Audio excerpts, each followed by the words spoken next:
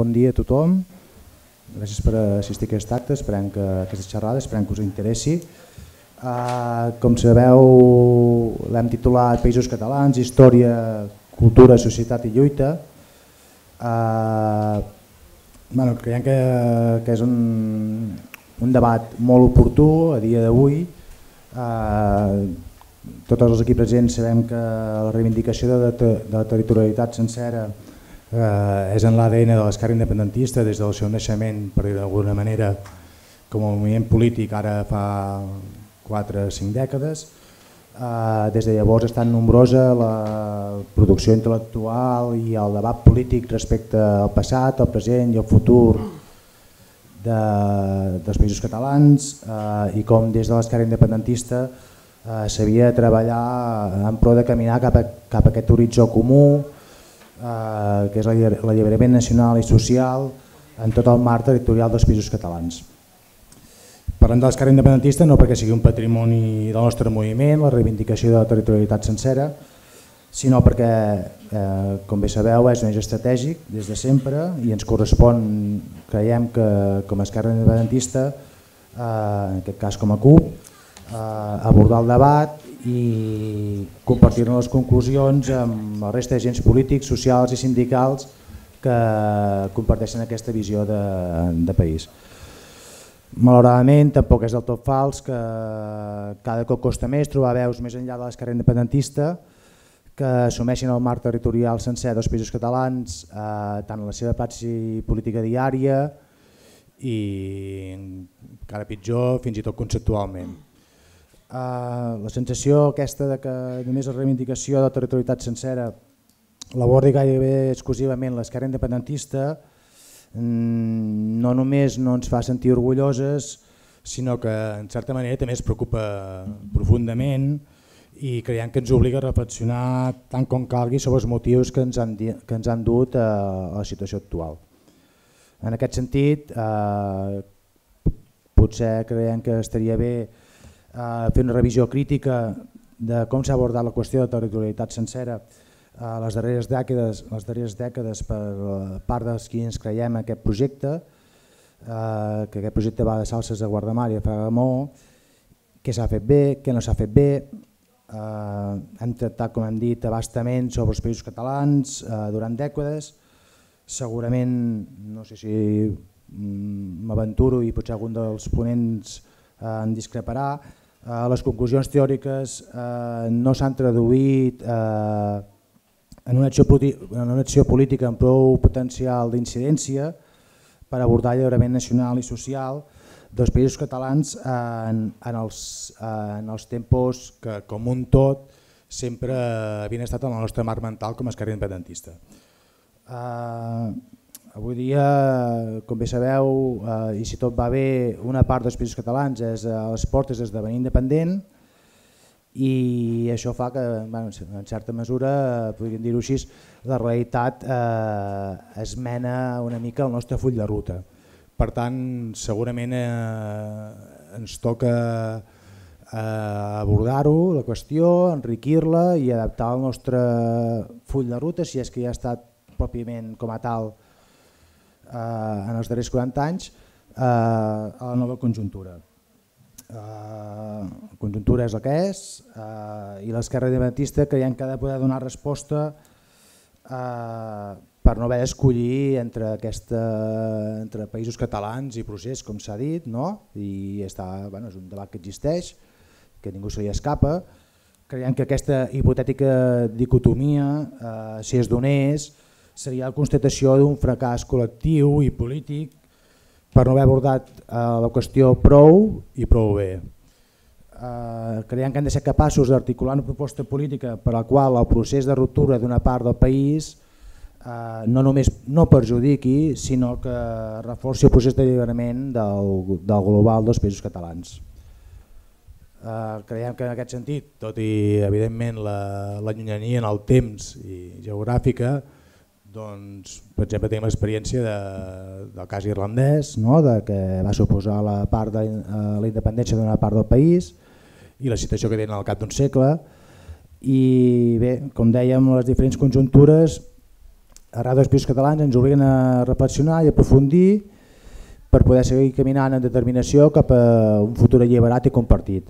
Eh, com hem dit, la, la Comunitat Autònoma de Catalunya està en ple procés de ruptura, al País Valencià i a les Illes eh, el PP ja no està al govern, tot i que bé, podríem parlar, això no, hauria, no té per què ser sinònim de que no sigui hegemònic. En el cas de, de, del Principat que està sota administració francesa de Catalunya Nord, evidentment, com bé sabeu, el context polític i social és molt més complex i encara té moltes més diferències, lògicament, de les que tenen els diferents territoris dels països catalans sota administració espanyola. Més enllà de llums i ombres en l'àmbit cultural, és urgent, creiem, abordar en quin moment es troba l'articulació política dels països catalans, eh, abans ho fem salat, no volem que aquesta reivindicació sigui romàntica ni retòrica, ens ho creiem i per tant volem que sigui viable i d'aquí l'oportunitat de debatre sobre aquesta qüestió i per això hem convidat diverses persones, eh, eh, diverses veus que des de, de diferents punts de, dels països catalans eh, que han escrit eh, sobre el tema, que estan autoritzades pel seu bagatge intel·lectual sobre la qüestió i en, veus, en, en punts de vista no sempre coincidents, la qual cosa ens, crec que, creiem que ens permetrà tenir un debat ric eh, i poder debatre sobre això, sobre cap on hauríem de caminar per fer possible aquest futur que anhelem. Eh, per això bueno, així, eh, agraïm molt la presència avui aquí de, de Joan López Casanovas, eh, filòleg, articulista i poeta menorquí, que va ser conseller del Consell Insular de, de, Mallor, de Menorca perdó, i diputat al Parlament de les Illes Balears per l'agrupament d'Esquerres PCM i per l'entesa de l'Esquerra de Menorca. També tenim eh, l'Irene Jaume, eh, és membre militant de l'Esquerra Independentista de Mallorca, eh, diferents moviments socials, eh, escriu a l'Ara Balears també, sovint, i, i ha abordat eh, recurrentment la qüestió sobre la, la territorialitat de, i, els, i, i en l'actual conjuntura política. Uh, també tenim Antoni Rico, que és uh, professor, de, uh, historiador i antropòleg, Mm, aquí posa valencià, mm, bé, deixem-ho... D'origen valencià, eh, fincat al Gironès actualment, eh, acaba de fer la tesi doctoral La influència del pensament de Joan Fuster en les cultures polítiques dels països catalans, eh, ha publicat eh, afers, eh, ha fet fulls de recerca i pensament, eh, l'Espill també, eh, i és autor i editor de llibres com No tots els mals venen del Mansa, una revisió crítica de la Constitució dels Països Catalans o el pensament i l'acció de Marx a Gramsci eh, en Joan Fuster. Finalment eh, tenim l'Albert Botran, historiador també, eh, diputat actualment de, de grup, eh, pel grup parlamentari de, de la CUP i de Constituent al Parlament de la Comunitat Autònoma de Catalunya i ha publicat llibres com les, com les proclames de sobirania de Catalunya del 1640 i 1936, Unitat Popular a la construcció de la CUP i l'independentisme d'esquerres o Introducció a la història dels països catalans. Uh, si us sembla, comencem per l'esquerra. Sempre. Comencem per l'esquerra.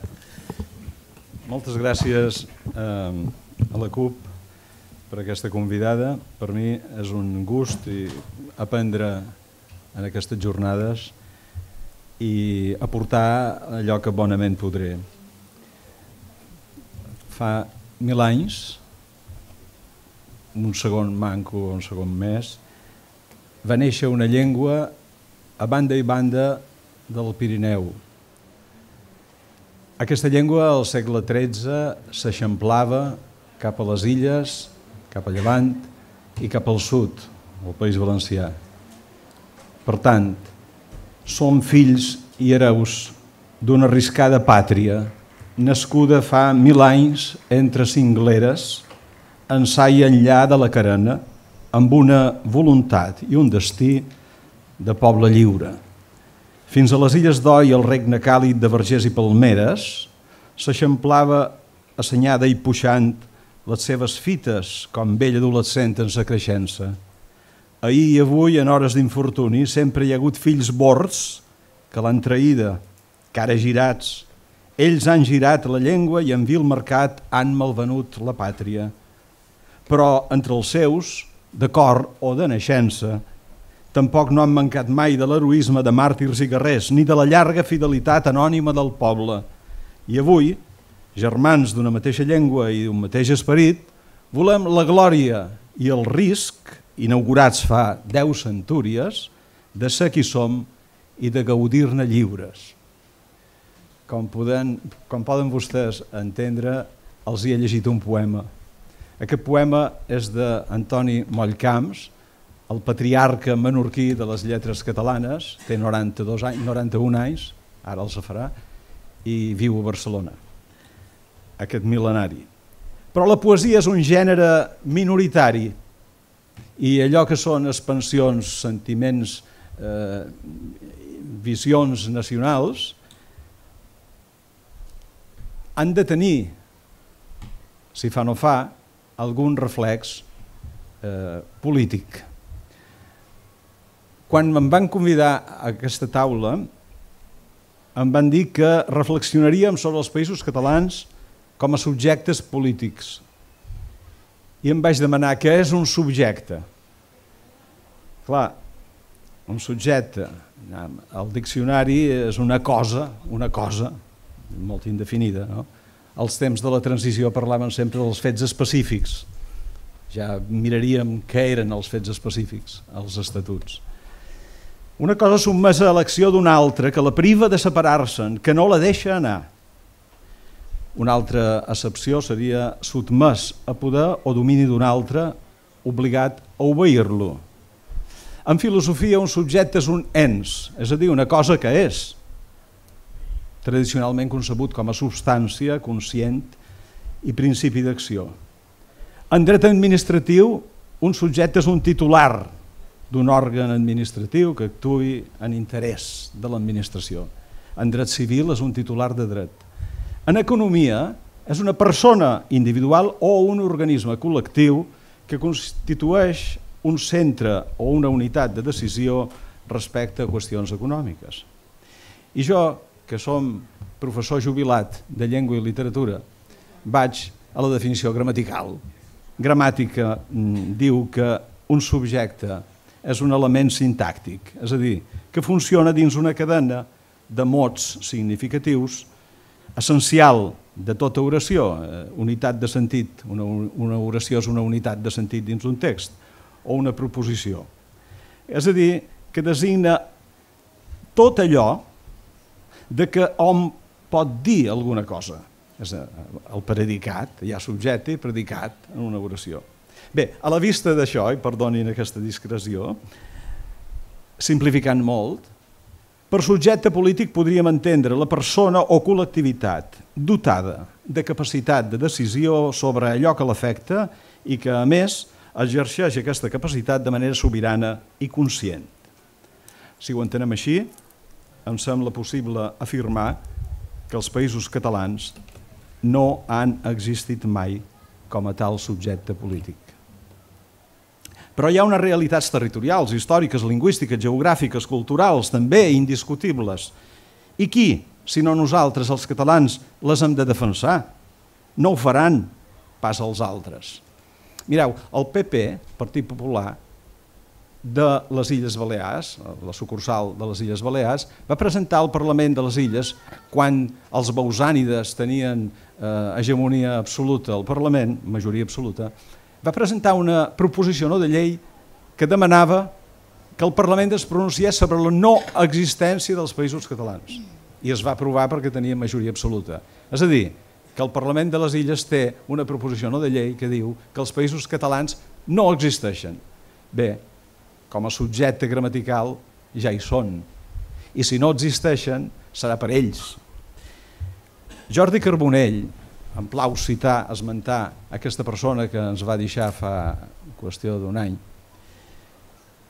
deia que eh, en la seva praxi per la independència dels països catalans, ell estava per un país conceptualment madur, però que havia de madurar més. Fins aleshores, diu, tenia una idea dels països catalans basada fonamentalment en la comunitat de la llengua. Però ja des de la meva estada a Anglaterra vaig anar-me adonant que hi havia quelcom més que la comunitat lingüística. Hi havia, els països catalans som una nació, un espai natural amb un llarguíssim front de mar i vist, des de Vilanova eh, per un de les illes se fa més palesa. Des de les illes no es veu aquesta, aquesta, distància, aquest horitzó tan llarg. Un espai natural amb un llarguíssim front de mar, una comunitat de llengua que a més a més posseix una realitat geogràfica, una continuïtat territorial i una comunitat nord-sud que s'ha realitzat durant la major part dels segles per mar, no en ferrocarril, per mar es feia. L'estat espanyol bloqueja l'eix mediterrani perquè l'espai mediterrani és el que econòmicament i en un contacte molt més proper ha d'acabar acoblant els països catalans. Fins aquí la cita de Jordi Carbonell al llibre de memòries Entre l'amor i la lluita. Bé, aquestes realitats donen substància al ens que ajunta i relaciona històricament allò que anomenarem Principat de Catalunya, Illes Balears, País Valencià, Andorra, Franja de Ponent i, si voleu, també la, eh, la Catalunya Nord i la ciutat de l'Alguer, si voleu. I aquest substantiu resulta certament definible de moltes maneres. La nació dels qui eh, ens diem bon dia cada matí, eh, els límits lingüístics, per tant, serien determinants en aquest sentit, un sentit de pertinença més o menys difús, però que ara s'acaba d'esvair com les ombres de, a la nit. A quin és aquest eh, sentit difús? A Menorca, dèiem, nosaltres, nosaltres, som menorquins, allà hi ha els mallorquins, allà més enllà els divisencs, Formentera no pensava gaire, més enllà hi ha, per cert, cap a Ponent i no el Levante, eh? cap a Ponent hi ha els valencians, els catalans, i bé, i la resta eren forasters. Atenció, foraster no és una paraula connotada, no hauria de ser una paraula connotada, foraster vol dir que ve de fora, i tots els que venien de fora dels límits del nostre marc eh, lingüístic eren considerats forasters. Però repeteix, aquesta, mm, aquest sentit de pertinença, malauradament, s'ha anat esborrant, s'ha anat esveint. Què és avui la nació dels catalans, dels valencians, dels illencs? Uns països trencats per les desigualtats i les injustícies, va escriure Nanna Gabriel l'altre dia a un article que vaig llegir. I, I som on som, més val saber-ho i dir-ho, com deia Martí Pol. Sí que existim, perquè rebem un mateix mal tractament per part de l'Estat Vegeu, si no, com han passat per l'engonal les reivindicacions del finançament, d'un finançament més just. Després d'haver fet el paripé els consellers d'Hisenda de la Generalitat Valenciana i del Govern de les Illes Balears i els seus experts, el meu germà, entre ells. Eh, van anar a Madrid, i ho sé de primera mà, amb plantejaments de reforma i canvi. Què s'han trobat? S'han trobat barra de ca o de Montoro al amigo el favor, al enemigo la ley. La ley. La ley es como el cuchillo, no fiende a quien lo maneja, deia el Moreno a Martín Fierro. Conclusions de la Comissió d'Estudi de la Reforma del Finançament Autonòmic. Repartiment de l'IVA. Ahir, a la taula rodona de turisme, dèiem que eh, eh, els països catalans arriben eh, 15 milions, em sembla, si no m'equivoco, de, eh, de, de, turistes. Doncs, si s'exclou la població no resident en el càlcul de l'IVA, se'ns fa un gravíssim greuge, perdoneu la reiteració. Valencians, Balears, Catalunya, tenen una població flotant de milions de persones, especialment en temporada alta. Doncs no, l'IVA no es tindrà en compte en aquest punt. Un altre, l'ordinalitat. Sols que en la reforma del sistema de finançament les nostres comunitats no perdin posicions en el rànquing del producte interior brut per càpita després de l'aplicació de la solidaritat imposada. Per cert, solidaritat no consisteix en que et fiquin mà a la butxaca per destinar-los eh, els diners allà on ells volen. Solidaritat ha de partir de la voluntat pròpia, evidentment. Doncs tampoc. Per ara no, es diuen. Mentre l'endeutament dels nostres governs reflecteixen el subfinançament que patim. I una tercera cosa, ajustar les aportacions al cost de la vida, l'IPC. Eh, ni de noves. Així que, en igualtat de poder adquisitiu, aquí se'ns esprem a consciència. Però l'assimilisme espanyol no cessa. La nació cultural, ara ens diuen, no, nació política no, però nació cultural sí. Atenció, la nació cultural se'ns desfà com un sucre esponjat dins un got d'aigua i es desfà davant la nostra impotència per un dèficit de capacitat política. L'ús de la llengua, i posaré aquest exemple, retrocedeix de manera alarmant dades lingüístiques de la, darrera enquesta que tenim en mans, eh, la del 2014. A les Illes Balears, el castellà és la llengua inicial del 48,6% de la població. El català, del 37,9%. Català i castellà diuen un 3,6% que són llengües inicials 3,6%. I altres, 9,9%. Ja teniu una imatge. Una altra, la llengua habitual, és un 50% per al castellà, un 36,8% pel català, un 10,3% castellà i català i un 2,9% per altres. I, I podíem seguir, llengua d'identificació. Els coneixements del català, això sí, eh, han fet via, perquè hi ha hagut una de les poques coses que han funcionat és l'ensenyament, l'educació, i per això se tiren com a voltors damunt el model educatiu català i de les illes, no sé el País Valencià com està la cosa, impedint que el, el, aquest model de relatiu èxit funcioni. Bé, l'expressió oral a les illes diu que el castellà és utilitzat en un 74,6% i l'expressió oral en català un 46,9%. Les xifres no, si no sumen, van més enllà del 100, eh? però és que hem de tenir en compte que hi ha eh, situacions bilingües. Bé, podríem continuar per aquesta via, però ens posaríem una mica malalts. A mi em posa greument malalt anar a la vila d'Eivissa, on no es sent parlar català pràcticament pel carrer. I ho dic perquè les dades són un 22% catalanoparlants i un 66,5% castellanoparlants. Per això el País Valencià em sembla que encara ens supera. Ah, sí. Ara, això sí, també la unitat de la llengua, a diferència del País Valencià, no es, no, no es discuteix. La immensa majoria diu que el que parlem a València, a les illes, és, és català. I prou. Molt bé. Cal revitalitzar, doncs, el compromís amb la sobirania, no sols política, i amb la democràcia.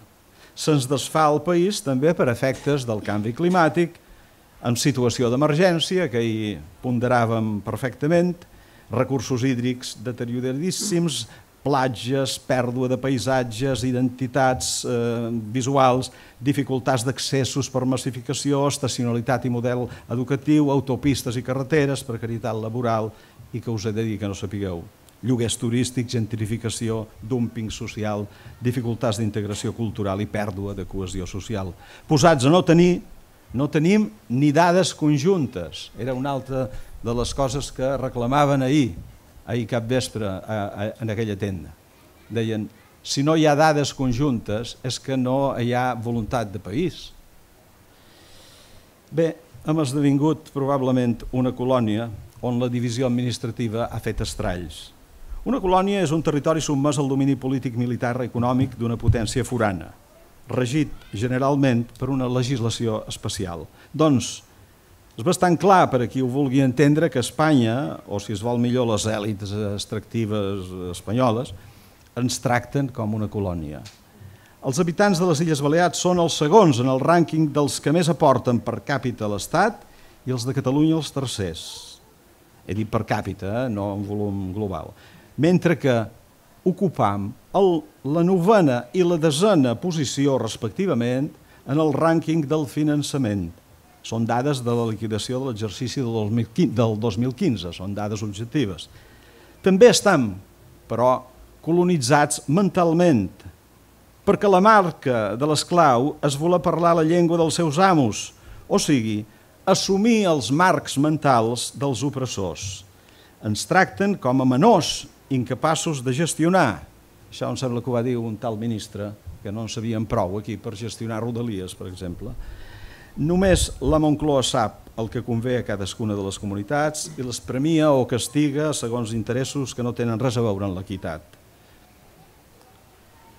mireu, si no, com gestionen magníficament AENA a l'aeroport.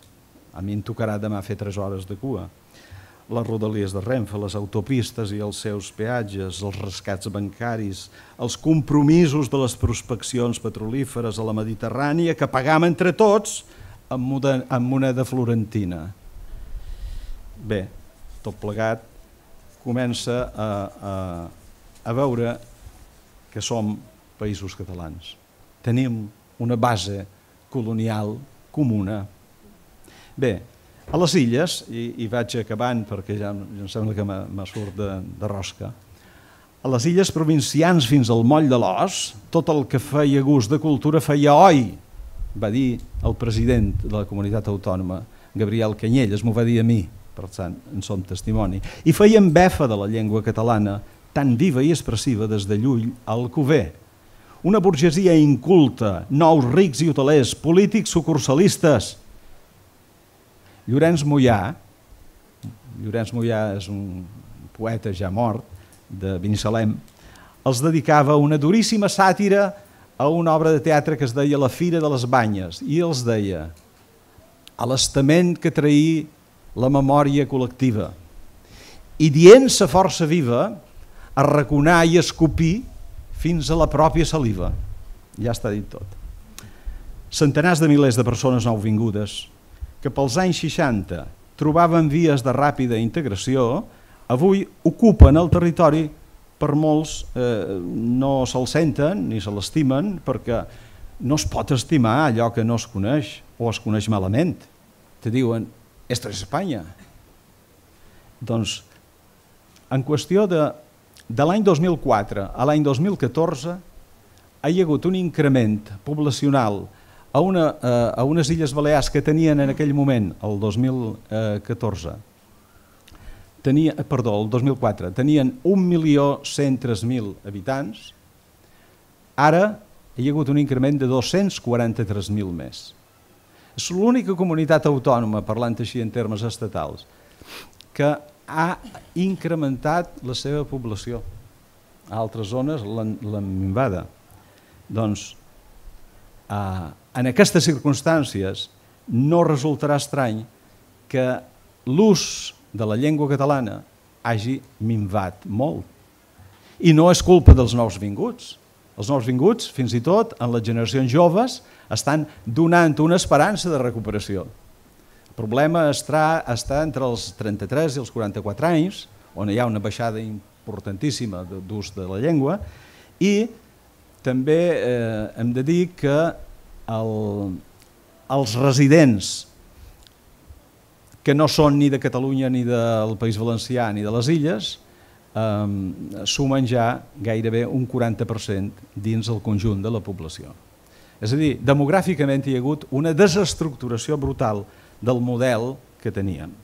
Ara bé, això es pot prendre en positiu o en negatiu, es pot prendre com un repte que hem de superar. I dels partits polítics que en direm? Jo troc que no en diré res ara en aquest moment i ho deixarem per al debat. Vull acabar. Eh, M'hauria agradat parlar d'història, de la revisió crítica dels 40 anys que han passat, voldria explicar anècdotes, en tinc moltíssimes, eh, si, si tinc ocasió i l'àrbitre em deixa, contaré la història del Terradelles, però en relació a l'amnèsia dels països catalans. Però també ho deixaré córrer de moment i vaig acabant. Vull dir que no hi haurà països catalans si no hi ha una revolució, a s'agafi en sentit etimològic la paraula, una revolta, i deixen de governar els de sempre. Però sobretot si la indignació de la gent no trenca la indiferència i mobilitza més. Països catalans són és un concepte, una idea fèrtil, potent, i els països catalans no esdevindran subjecte polític mai mentre ens governin els gestors d'un sistema que els nega, que mai no els acceptarà perquè acceptar-los suposaria acceptar l'accés del poder de les classes populars que haurien de reivindicar-los. Per això caldria que aquestes classes populars haguessin recuperat o conquerit l'hegemonia, cosa que implica un procés, com vostès saben, competitiu, constructiu d'educació o de conscienciació. I aquest moviment social de presa de consciència, a més, s'haurà de fer en clau de volta, què vol dir en clau de volta? Això ho explicava molt bé Josep Maria Llompart. Els països catalans s'han d'aixecar des de cada pilastre, des de cada pilar, amb les seves dinàmiques pròpies, no volent imposar, per exemple, eh, volent cremar etapes, avançant els desitjos a la realitat, perquè això pot tenir conseqüències letals. Però dit això, silenciar el projecte de països catalans, com s'ha fet d'un temps cap aquí, l'únic que aconsegueix és eliminar-lo, ofegar-lo per sempre, negar-lo. Diuen, els països catalans són una nació cultural. Certament, constituïm una àrea nacionalitària que per esdevenir nació política només, i dic només, caldria que es fes part de la voluntat dels ciutadans i ciutadanes. Que és, si no, una, una nació, que és un país, un territori on hi viuen persones que se'n volen responsabilitzar en la gestió, que eh, es comprometen a tenir-ne cura perquè el senten com a patrimoni, és a dir, una herència digna de ser trans, trans, mantinguda i transmesa perquè la vida, una vida digna, hi sigui possible. Tanmateix, els països catalans són un concepte necessari. Ens necessitam mútuament. Sense el País Valencià, deia Vicent Ventura en una publicació del PSUC de 1978, en què jo hi vaig modestament participar, tenia 22 anys aleshores, eh, ens necessitam mútuament. Què seria el País Valencià si no existissin els països catalans? I, sense els països catalans, la identitat del País Valencià o de les illes o de Catalunya, Principat, no seria, no seria la que és. Seríem província. Bé, ho som bastant encara. Eh, pensar, idò, la nació completa, si no ho feim nosaltres, qui ho farà? Gràcies.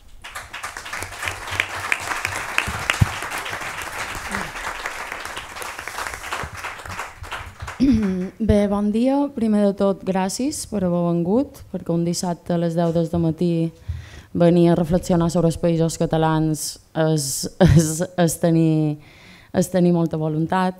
Uh, jo bueno, m'havia preparat una mica un resum del context que hi ha hagut a Mallorca els darrers anys, una mica el context polític i com ha estat l'esquerra independentista.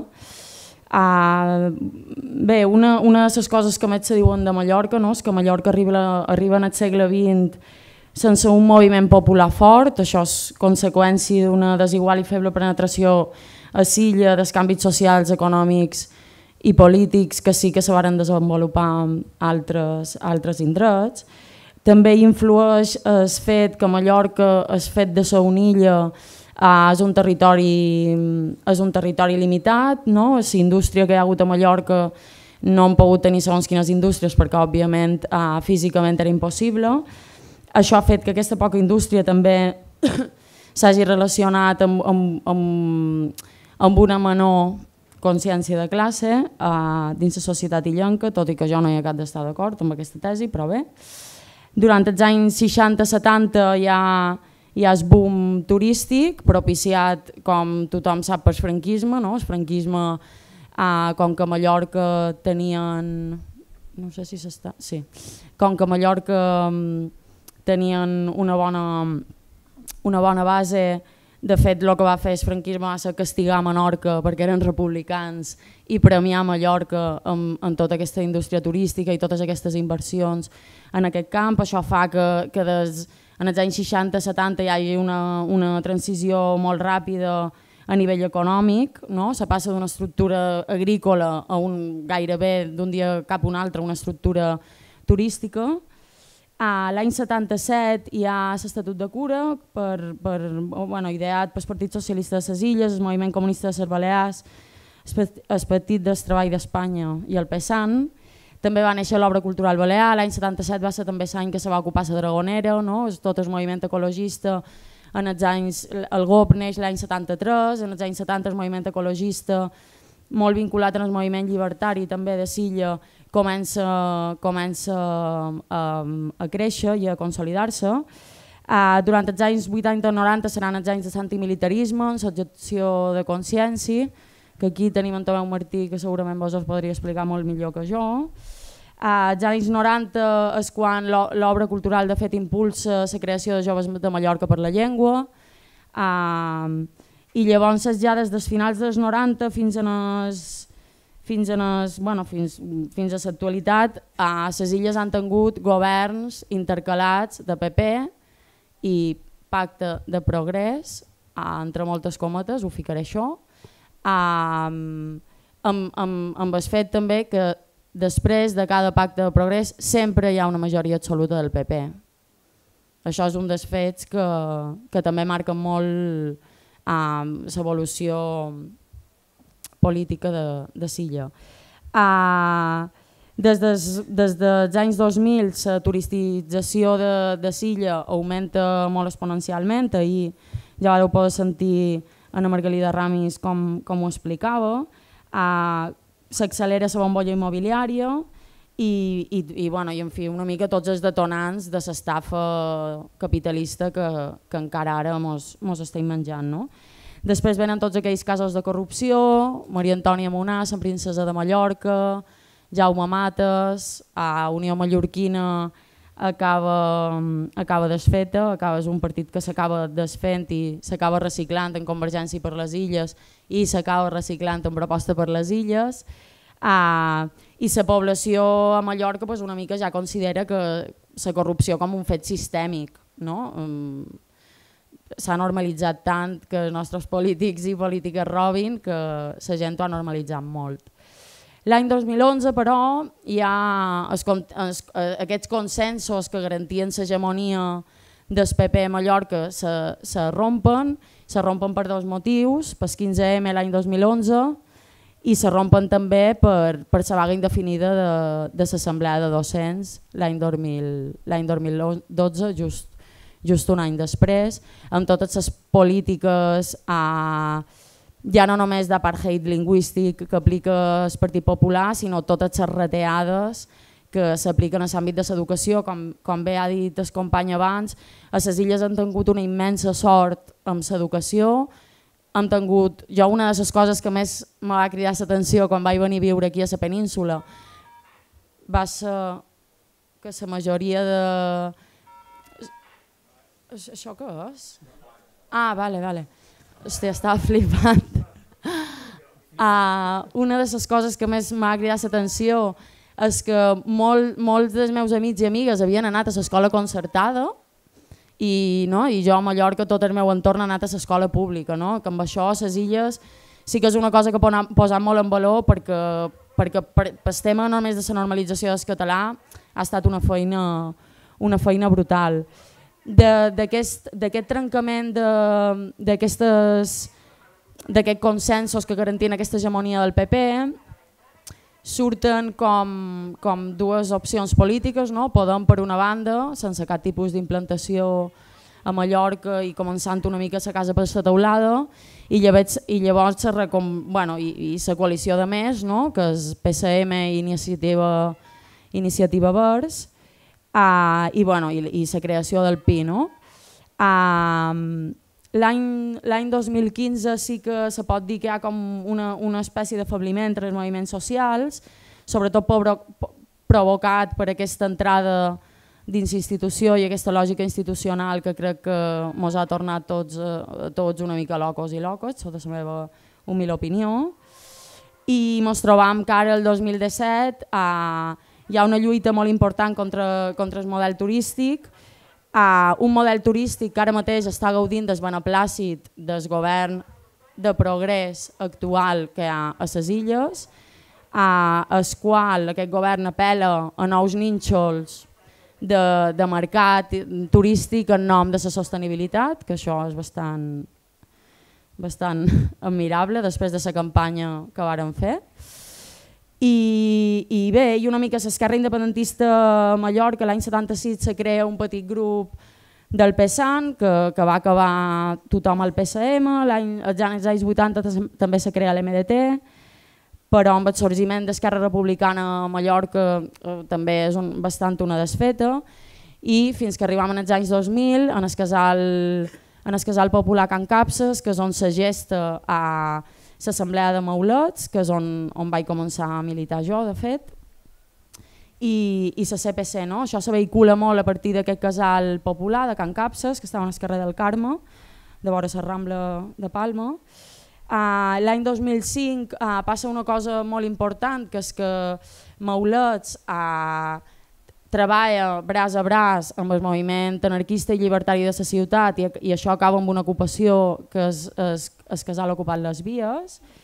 Uh, hi ha tota la creació d'assemblees uh, arreu de Mallorca, en el, a Pla, Llevant, a Nord, a Ciutat, òbviament. L'any 2009 se crea Endavant, uh, responent una mica en es, en el relleu generacional que hi ha després de Maulets. També se crea a l'esquerra independentista de Mallorca com a, com a concepte, apareix arran com a bueno, la confluència Maulets-Cagell, també molt interessant la creació de l'Assemblea Patriarcal a Mallorca, ha estat, ha, ha, va donar molta força i va aportar una part del discurs que estava molt oblidat perquè l'esquerra independentista de Mallorca sempre ha estat un, un espai molt masculinitzat i on, i on les dones, jo de fet quan vaig començar a militar era l'única en lota de la meva assemblea, i on les dones sempre hem hagut de, de lluitar una mica per, per, per ser escoltades i per ser tengudes en compte. Uh, L'any 2012 l'esquerra independentista de Mallorca pateix una crisi, pateix una crisi per manca d'estratègia, pateix una crisi per problemes personals mal gestionats i l'any 2015 uh, s'acaba creant la CUP de Palma, ah, com, a, com a resposta una mica a dues tubs que se varen fer a la ciutat i on se va veure la necessitat de, de crear una eina que pogués entrar qualque dia a l'Ajuntament de Palma. Ah, jo crec que, crec que la clau en el cas de l'esquerra independentista de Mallorca és intergeneracionalitat. Ara a Mallorca se dona el cas que ja no només tenim militància d'una edat determinada perdoneu, sinó que, sinó que ja eh, l'esquerra independentista de Mallorca ja té diverses generacions i això fa...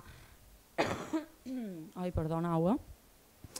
I això fa que, que puguem utilitzar això com a, com a, bueno, com a, com a palanca per, per, per, per pensar un futur que sigui, que estigui bé i que, i que, i que mos dugui en els objectius que, que mos hauríem de marcar. I dit això, ara segurament um, faré un discurs que no agradarà a molta gent, però l'he de fer perquè és el que sent. Um, jo som sòcia d'una cooperativa de la Ciutat Invisible, que està a Sants, um, i l'altre dia, doblegant una camiseta que tenim a la ciutat, que és una serigrafia, bueno, és un disseny de Joan Negrescoló, un il·lustrador que diu cooperes o competeixes, que té una piraigo no? i a la part de dalt n'hi ha dos que remen cap a la mateixa banda i a la part de baix n'hi ha un que rema cap a una banda i un que rema cap a una altra. Pues estava, bueno, estava amb un client que estàvem canviant la camiseta perquè li anava, li anava massa grossa i jo estava plegant la camiseta i vaig mirar cooperes o competeixes, no sé per què se m'ha il·luminat aquell dia, perquè aquella camiseta la veig cada dia, però aquell dia com a que, com a que se, va, se me va il·luminar una mica la llumeta perquè jo des del 9-N uh, se m'ha creat com una mica una, una mena d'insatisfacció davant la situació que se creava pels països catalans. I aquesta insatisfacció se me crea perquè comença a tenir la sensació que començam a xerrar de territoris de primera i territoris de segona. Començam a pensar els països catalans um, des d'una lògica d'avançats i subdesenvolupats um, i, i pens que l'única cooperació possible que hi ha hagut segurament aquests anys ha estat supeditar la lògica del Principat eh, a tots els països catalans. És una sensació, no vull dir que sigui així, estic xerrant la sensació que he tingut jo i estic xerrant bastant des d'escó, que crec que a vegades no ho feim i està bastant bé que ho facem perquè, perquè surten coses bastant interessants. Um, I per jo una mica és, és, és la clau del debat d'avui segurament, que és que les urnes són centrals en el nostre moviment perquè representa que dia 1 d'octubre hi ha d'haver un referèndum i, i tota, tota la resta ha quedat en, un, en, un, en una posició d'element de, de secundari. A jo una TUP se me va arribar a dir que xerrar de països catalans ara no tocava, a la TUP que se va fer a la Barceloneta. Sí, la TUP que... No, perdoneu, quina va ser la primera? Barceloneta o Badalona? Pues a la Barceloneta. Um, I i bé, supos que el fet d'haver entrat a, en el món de l'economia social i solidària i del cooperativisme m'ha fet veure que, que per jo cooperar no és només un lema de llocs de treball, sinó que per jo cooperar és, és, va, va molt més enllà no? i crec que la cooperació no només l'hem d'aplicar, en el meu cas, en el meu àmbit de treball, que és el cooperativisme, sinó que també l'hem d'aplicar eh, eh, en, els països, en els països catalans. I, i deixar de, de, i deixar de reproduir un discurs que en el final va en contra nostra, de reproduir un discurs que en el final està acceptant la terri terri territorialitat que imposa l'estat espanyol, a acceptar que hi ha territoris de primera i de segona, que hi ha territoris que estan més avançats i més, i més i, i menys avançats, que jo crec que avui en dia, de fet, um, ahir llegia una, una autora molt interessant, que és una, Susan Backmores, és una, és una neoyorquina, i ella, ella, ella explica una cosa molt interessant, que és que actualment, l'any 2017, no hi ha territoris que estiguin en el 2017 i territoris que estiguin a l'edat mitjana. No, això no existeix. I jo, amb aquest discurs de ritmes, que, que és un discurs que, que, ha, que ha funcionat molt aquests anys i que s'ha difós molt, he tingut una mica aquesta sensació que s'estava dient que, no, que el Principat de Catalunya estava molt més avançat. Què vol dir estar més avançat avui en dia? No? Uh, uh, crec que la globalització ha demostrat que, que, no, és, que, no, que, no, que no és progrés i que, i que, no? I que, i que avui en dia, o sigui, jo me sorprèn una mica a vegades aquest discurs per això, perquè estem a l'any 2017 i estem dient que hi ha territoris que estan més avançats que altres i no, no cap de no cap d'entendre que això a la pràctica que vol dir. Això amb una estratègia com se tradueix perquè en el final tinc la sensació que el discurs de ritmes o aquesta aquesta estratègia de... Mm, bueno, estratègia, és que crec que no és ni una estratègia, crec que és una teoria que no té estratègia. Uh, crec, que, crec que en el final això fa que agafem el mapa dels països catalans com un fetitxe i no com una eina per transformar el Mediterrani, que era una mica en la línia de lo, de lo que comentaves tu abans. No? Per què no volen que siguin els països catalans? Perquè saben que si els països catalans existissin, segurament guanyaria l'esquerra i i, i que controlam mm, gran part del litoral de l'estat espanyol. Llavors, òbviament que no volen que els països catalans existesquin i se vertebrin i se construeixin. I jo sí que també sóc de l'opinió que aquesta construcció no se farà a través d'una llengua i una cultura. La llengua i la cultura la tenim molt clara. El PP també la té molt clara, per això fa aquestes propostes no de llei de que els països catalans no existeixen. O sigui, on treu cap fer una declaració on dius que una cosa no existeix, quan ja estàs, no? quan dius que no existeix és que ja estàs reconeixent la seva existència de facto, no? Vull dir, uh, dir que, dir que, dir que, dir que la perifèria, perquè en el final crec que Catalunya Nord, País Valencià, Franja ja ni en parlem, illes hem estat considerades com, com la perifèria i el Principat, i a vegades ni el Principat, l'àrea metropolitana de Barcelona, han esdevengut la centralitat. Llavors, eh, torno una mica a el que deia no, no Susan, no? pues, eh, aquest subdesenvolupament de la resta, com si la resta, no? aquest típic discurs és que ah, clar, allà tothom vota el PP, allà tothom xerra en castellà, però si ho n'adonau, en el final, la mobilització que més gent ha convençut i ha mobilitzat en els països catalans no ha estat el referèndum, ha estat l'assemblea de docents. Sigui, en l'assemblea de docents se va dibuixar el mapa dels països catalans. O sigui, hi va haver una solidaritat brutal i això amb el referèndum no està passant. No està passant a les illes, no està passant en el País Valencià, perquè hi ha dubtes, perquè, perquè no han pensat l'estratègia de països catalans que hem de dur a terme mm, d'aquí uns, i ja no d'aquí uns anys, d'aquí a 1 d'octubre, a partir de dia 1 d'octubre que passa amb els països catalans, què feim? Els abandonam, eh, els repensam, no? Jo, jo un, un dels meus articles deia, posava un exemple que era els nusos. No? Jo tinc la sensació que els països catalans som tot una suma de nusos que aquests anys s'han anat afluixant i si no anem alerta s'acabaran desfent. Ara estan fluixos, però se poden acabar desfent. I, i, bueno, i això que de l'assemblea de docents és perquè a vegades mos pensam que, mos pensam que en els llocs on, on manco consciència hi ha, no? on la gent és molt fatxa i aquestes, i aquestes històries que fa molt d'anys que sent des de que, des de que visc aquí, um, és, és, és, és, és com una condició perquè allà no hi passi res i jo crec que és tot el contrari. I ara me direu èpica, però qui se pensava que la revolució seria Rússia i no Alemanya? Quan Alemanya no? Havia tots els filòsofs, proletariat, i a Rússia tot eren campesins i analfabets, etc. però la revolució finalment va ser allà, que a vegades les coses passen on, menys, on, on man com els esperam que passin. No?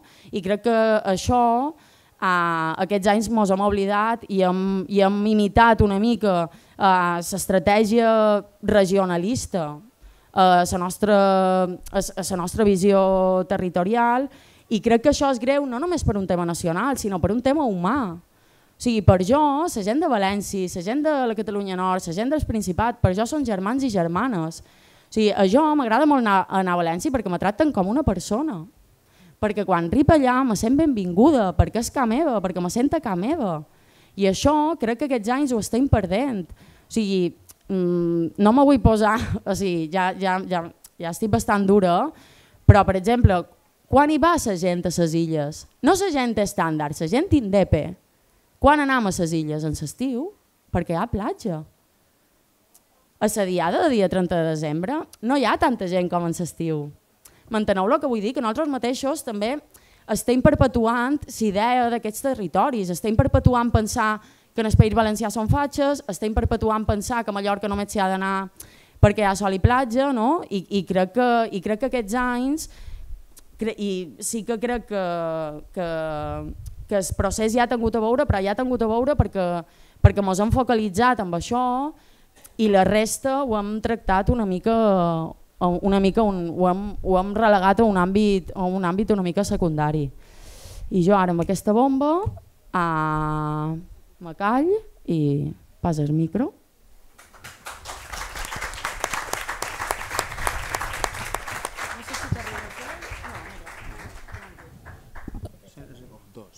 Collons, en dos no, tio.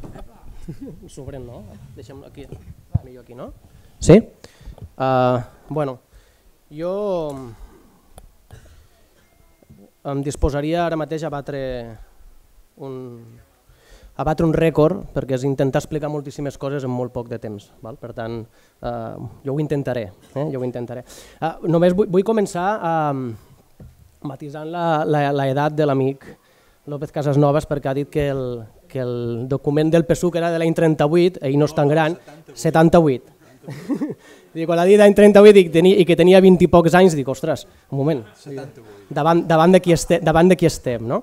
Uh, sí, sí, després podem parlar de fet d'aquesta aquest, revista Horitzons, Nous Horitzons, perquè jo crec que de fet és segurament un dels documents uh, més interessants que s'han fet de debat sobre els països catalans mai, ni abans ni després s'havia fet segurament coses tan, tan, tan completes, no? amb un marc territorial tan, tan clar. No? Bueno, uh, aviam, jo intentaré explicar, la meva intenció és parlar uh, sobre què és, no? o què són, què són els països catalans, què és una nació, no? i llançaré en primer lloc dues idees sobre les quals pivotaran en certa manera tota la resta de, de, de la intervenció. No? Una primera idea és que eh, la nació, tal com l'entenem a dia d'avui, és, una, és una estructura eh, política, social, econòmica de la modernitat. És a dir, abans de 1789 les nacions, tal com les entenem nosaltres a dia d'avui, no existeixen. Existeix una altra cosa. Eh? Existeixen les llengües, existeixen les religions, no hi ha classes socials, existeixen els estaments, no hi ha sindicats, existeixen els gremis, Uh, no hi ha una jurisdicció pròpia per tot un territori, sinó que hi ha diverses jurisdiccions, feudals, uh, uh, de reialme, és a dir, la nació tal com nosaltres a dia d'avui pretenem construir els països catalans és una estructura uh, 100% de la modernitat que surt doncs, a partir sobretot de dos fets molt concrets com són la independència dels Estats Units i la revolució uh, francesa. Eh? Aquesta seria una primera idea, eh, que jo crec que a més és fonamental per poder entendre el, el, la segona, que és el discurs que es fa sobre, sobre la nació. No? I, I per què dic el discurs? Perquè la, la nació al cap i a la fi és narració. Eh? Una nació acaba sent un conjunt doncs, de narracions, de relats, eh, més o menys unitaris, que acaben quallant en una col·lectivitat molt concreta, que l'acaba assumint i que acaba convertint aquella comunitat, eh, que en altres èpoques doncs, havia estat segurament una altra cosa, doncs, en una nació moderna tal com les entenem a dia d'avui. A partir d'aquí intentaré eh, doncs, parlar del discurs que s'ha fet sobre la nació eh, de forma general, després parlaré sobre el discurs que ha fet l'esquerra sobre la nació, perquè jo crec que a més és més que interessant que, que, que, que la CUP i que tots els, presents com a, i tots els presents com a persones d'esquerres doncs fem també una mica de valoració no? sobre com l'esquerra ha tractat el tema, de, el tema de la nació i finalment acabaré parlant sobre el discurs que s'ha fet sobre els països catalans, no? com hem construït no? o no eh? un relat eh, sobre els, els països catalans.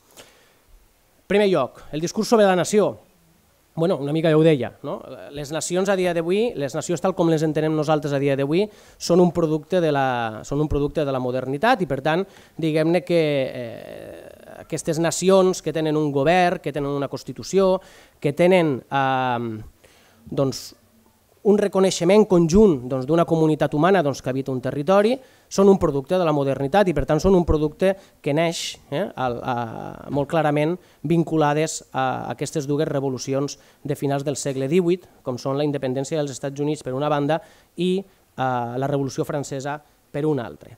A partir d'aquí hi ha una classe social, que és la burgesia, doncs, que a més és la més interessada perquè és l'hegemònica, és la dominant, que agafa el discurs de la nació i comença a construir, eh, comença a construir les, les nacions. I a més es comença a construir a partir de tot un moviment que seria el romanticisme, en el que eh, tothom hi ha com una mena de batalla a nivell europeu per veure qui té la nació més antiga del món. No? Sabeu que Mariano Rajoy continua una mica en aquesta dinàmica encara a dia d'avui. Eh? De tant en tant, o Mariano Rajoy o Esperanza Aguirre, algun d'aquests individus apareix parlant de que Espanya és una nació més antiga d'Europa, del món, no sé quantos mil anys. És que sembla que els dinosaurios ja anaven amb la samarreta de la Roja per a Tapuerca passejant. Val? És dir, això, és, això és un discurs molt típic del segle XIX, perquè en el segle XIX, diguem-ne que tothom, amb, aquest, amb aquesta construcció d'un relat, eh, d'un relat nacional i d'un relat nacionalista, doncs comença una mica a buscar els orígens. No? De fet, és una recuperació doncs, de l'època medieval, és una recuperació del gòtic, del romànic, etc etc. Val? Per què és la burgesia? Doncs en certa manera, doncs, com deia, perquè és la classe dominant i també perquè el proletariat que està naixent en aquell moment doncs, té prou feina en poder diguem-ne sobreviure. Per tant, diguem-ne que eh, això fa que el proletariat, les classes populars, en aquest sentit, diguem-ne, eh, van totalment a remolc de eh, el discurs nacional i nacionalista que fa la burgesia i per tant diguem-ne que les classes socials més baixes es van adaptant constantment a les estructures i als relats nacionals que la burgesia construeix durant el segle, durant el segle XIX. El romanticisme crea una nació i un nacionalisme eh, molt essencialista en el que doncs, sembla ser que la llengua és la base, la base de construcció total i absoluta de la nació, moltes vegades també doncs, la religió i evidentment els costums i les maneres de fer de la burgesia. No? Per tant, diguem-ne que sempre eh, aquesta construcció nacional del, del, del segle XIX tendeix cap a diguem-ne dinàmiques eh, essencialistes. No? Quan això comença a matisar-se? Això comença a matisar-se, de fet, cap a finals del segle, quan un senyor anomenat Ernest Renan, a la Universitat de la Sorbona de París, fa un discurs en què es pregunta què és una nació. No? I Renan, bàsicament, el que farà... Renan, Renan fa trampa, eh? perquè Renan, diguem-ne que en el seu discurs el que fa és dividir la nació entre nacions essencialistes i nacions cívico-polítiques, L'essencialista seria l'Alemanya, eh, amb aquesta base racial i etnolingüística, mentre que la cívico-política seria la francesa, que ens expliquen els catalans què és la nació francesa i com de poc eh, essencialista és. Però bueno, diguem-ne que Renan, per això deia jo que Renan fa trampa, sí que és cert que posa damunt de la taula dos esquemes, dos models de nació, eh? un més conservador, més basat doncs, en aquells principis del romanticisme essencialista, i un altre, diguem-ne, més de tipus més modern, més polític i més, diguem-ne, d'adhesió de caràcter ciutadà no? doncs a un projecte polític eh, comú. A partir d'aquí, diguem-ne que aquestes teories o aquestes dues teories acaben conformant tota una sèrie de moviments nacionals i nacionalistes que en certa manera han estat la base, eh, han estat la base de la gran majoria dels moviments nacionals i nacionalistes que han anat existint durant tot el segle XIX i durant tot el segle XX i que han anat donant origen doncs, a l'aparició de desenes de desenes de nous estats-nació. Eh? Tot això acaba conformant tota una sèrie de moviments nacionals. En certa manera, diguem-ne que aquestes dues teories, eh, bueno, la post, els postmoderns, la postmodernitat diu que s'acaben amb la caiguda del mur de Berlín, que entrem en una època eh, nova, que seria aquesta de la postmodernitat, eh, una època, diuen, postnacional, una època en què les societats són multinacionals, Bueno, jo crec que aquest discurs també, de fet en podem parlar, ha anat matisant-se amb el pas del temps, perquè allò que semblava en la dècada dels anys 90, que és que la nació estava ja més que morta, a dia d'avui veiem que la nació no només, està, no només no està morta, sinó que està més viva, més viva que mai, perquè apareixen moviments nacionalistes nous que reivindiquen la possibilitat de ser nació i per tant de ser estat, i no només això, sinó que aquells que ja són un estat-nació en cap moment han prescindit de voler-ho deixar de ser. Eh? I segurament l'exemple de la Unió Europea és el millor exemple de tots. No hi ha absolutament cap estat-nació de la Unió Europea que tinga la pretensió de deixar de ser el que ha estat en els últims 200 anys, per alguna cosa serà. No? Per tant, diguem-ne que aquesta era postnacional eh, ha anat o, o haurien de matisar-la, eh? haurien de matisar-la. Sí que estic d'acord en que la, la, la identitat nacional l'hem d'incloure a dia d'avui a dins de tot aquell conjunt d'identitats que Bauman va anomenar identitats líquides. No? I és això, i això és més que evident que la manera en com nosaltres, eh, persones del segle eh, 21, de l'any 2017, no entenem la noció igual que la podien entendre els nostres avis, ni molt menys, i per tant diguem-ne que aquestes identitats líquides, aquesta multitud d'identitats doncs, que té un individu i que acaba tenint una societat en el seu conjunt, doncs efectivament ens mostra una nova manera d'entendre eh, la, la nació com ha construït l'esquerra la nació, o com ha construït l'esquerra el discurs, la narració sobre la nació. Com he dit abans, clar, eh, diguem-ne que les classes dominants, la burgesia, ens anava molt per davant perquè eh, són els que tenien temps per llegir, per escriure i per tant, en certa manera també per reflexionar i per pensar sobre aquest producte de la modernitat que són les, que són les nacions. No?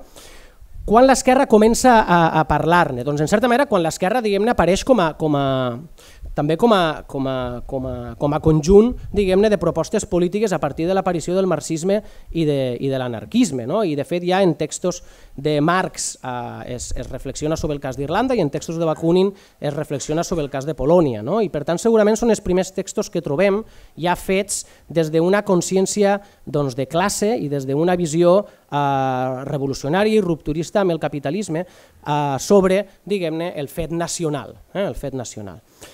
Són textos, en certa manera, també molt de l'època i, i, per tant, en certa manera, eh, tant el que diuen Marx com el que diuen Bakunin és que eh, bueno, mm, els moviments de caràcter eh, nacional, nacionalista, són moviments emancipadors, són moviments democratitzadors i que, per tant, d'una manera o una altra, en casos com el d'Irlanda o en casos com el de Polònia, la classe treballadora s'hauria d'involucrar no? perquè, diguem-ne, eh, eh, allò pot suposar una ruptura, eh, una ruptura doncs, de l'estat de coses eh, existent.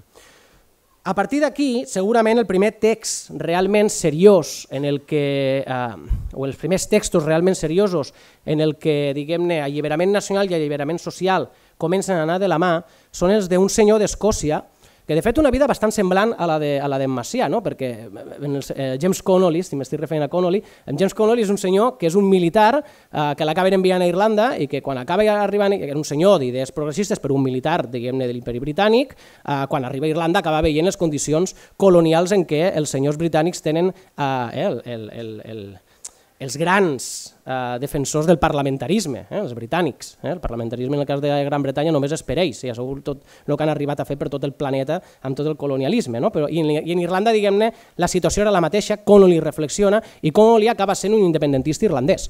Però un independentista irlandès que teoritza, canalitza la situació d'Irlanda des d'una concepció, des d'una òptica de classe. I per tant, és el primer que comença a parlar diguem-ne de, de socialisme i d'alliberament nacional. No? Els textos de Connolly segurament, com dic, són els, els més interessants fins a aquell moment i a partir d'aquí, diguem-ne que apareixeran eh, les reflexions que durant molt temps marcaran la reflexió sobre la situació nacional i de la classe treballadora, que seran, doncs, per una banda, evidentment, els textos i les reflexions de Lenin sobre el dret a l'autodeterminació dels pobles, la seva discussió amb Rosa Luxemburg, eh, la seva discussió amb Rosa Luxemburg, eh, no sé si la CUP estaria gaire d'acord amb el pensament de Rosa Luxemburg, que la citem en aquesta escola de tard, en aquesta escola d'estiu respecte de la nació, com sabeu Rosa Luxemburg i Lenin tenen una enganxada bastant forta. També en certa manera jo crec que aquí el problema és que Rosa Luxemburg és Alemanya i per tant els alemanys, eh, diguem-ne, per el, per el tipus de nacionalisme que han hagut de patir eh, des de Bismarck segurament fins a l'actualitat en molts aspectes sempre han tingut diguem-ne eh, una idea molt pejorativa de la pròpia idea de, de nació. No? I junt a les reflexions de Lenin i de, i de, i de Luxemburg s'ajunten les de Stalin. No? I les de Stalin per què? Doncs no perquè fos una persona més sensible respecte de les identitats nacionals que vivien sota l'imperi rus, sinó perquè Lenin li encarrega eh, aquesta tasca, Lenin és l'encarregat del primer govern, eh, perdó, Stalin és l'encarregat del primer govern revolucionari doncs, de treballar tot el que fa referència doncs, a, a la situació de les nacions de l'imperi rus i de la nova Unió Soviètica, i diguem-ne que el que farà Stalin és marcar una dinàmica, un, un discurs sobre la nació en què incorpora sobretot un, un, un element de caràcter molt economicista, no? en el sentit de que eh, les nacions no només són llengua, no només són religió, no només són ta, ta, ta, ta, ta, ta sinó també són economia. No? I per tant, diguem-ne que aquest discurs materialista, eh, economista, eh, durant molt de temps marcarà la dinàmica discursiva de l'esquerra en general. De fet, l'acaba marcant pràcticament, podríem dir, fins a la dècada dels anys 50 i 60. Per què en els anys 50 i 60? Doncs perquè bàsicament apareixerà sobretot un senyor anomenat Franz Fanon que començarà a teoritzar sobre la descolonització dels pobles i perquè tots els moviments d'alliberament nacional que van apareixent després de la Segona Guerra Mundial també prendran diguem-ne el marxisme com a teoria política d'alliberament.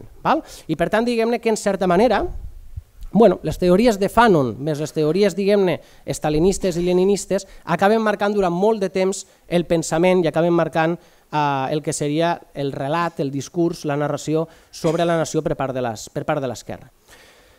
Arribem a un punt en el que la dècada dels anys 60 i 70 apareix com una mena de marxisme acadèmic que, que, que representaran sobretot Benedict Anderson i Erich Hobsbawm, que actualitzaran des, de la, des del punt de vista marxista eh, diguem-ne el pensament eh, sobre la nació i incorporaran conceptes, en el cas d'Anderson com el de nacions imaginàries, Uh, i en el, eh, com el de comunitats imaginàries, perdó, i en el cas de uh, Hosban una mica ens posarà davant de la disjuntiva de què és abans l'ou o la gallina, no? què és abans la nació o el moviment nacional que l'inventa. No?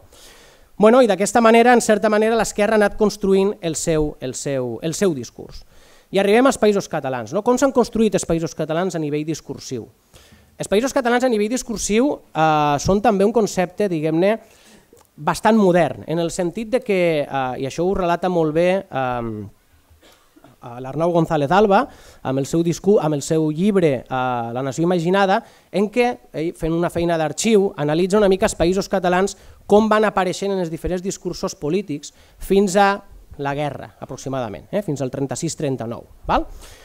Bueno, fins a aquell moment els països catalans apareixen d'una manera bastant ambigua. Eh? Hi ha una part del catalanisme més conservador que parlarà de Gran Catalunya, però tampoc sense diguem-ne eh, especificar gaire cosa.